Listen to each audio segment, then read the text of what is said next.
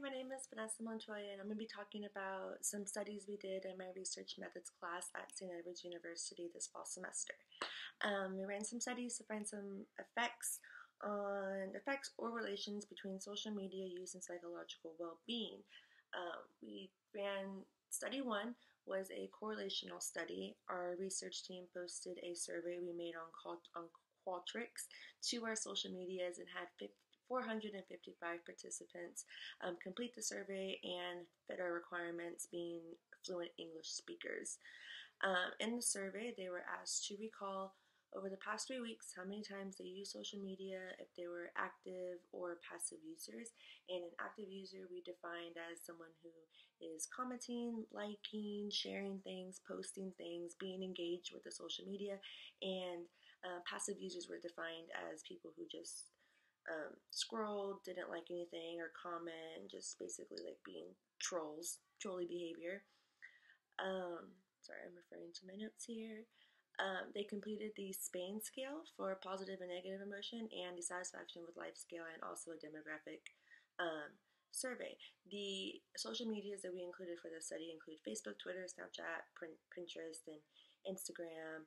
And they found our study on our social medias. We posted a link on our social medias or emailed it, and it was like a snowball effect. Um, they could share, and we can get more participants that way.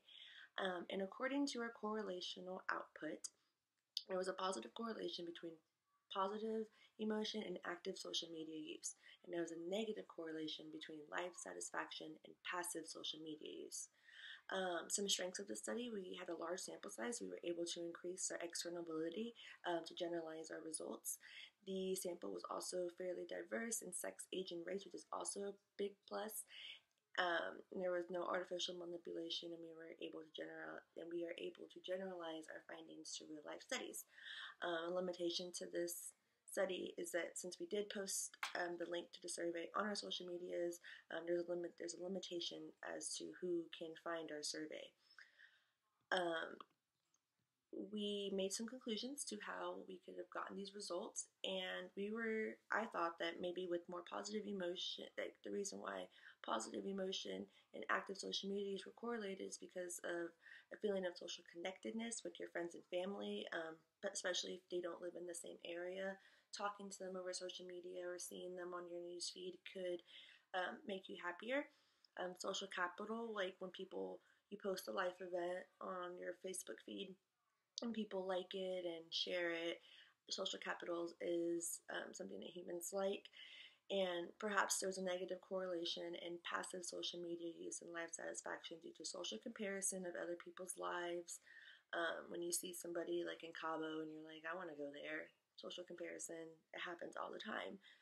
Um, study two was an experimental design since we couldn't de- determine causality or directionality in study one since it was a correlational study um, this experimental design was able enabled us to expand that. Um, so we had some research questions for study two. Um, what was the main effect of social media use and psychological well-being? Um, does social media use interact with gender to affect positive well-being?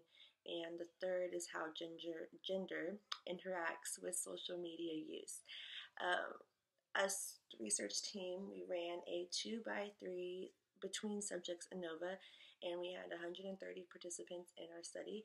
In this study, uh, we assigned uh, participants to condition of no social media use, passive social media use, and active social media use.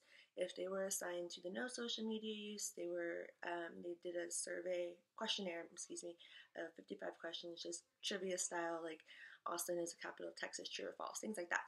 And um, if they had active, so if they were assigned to active social media use, they were instructed to go and be active on social media for five minutes and then come back and complete our survey.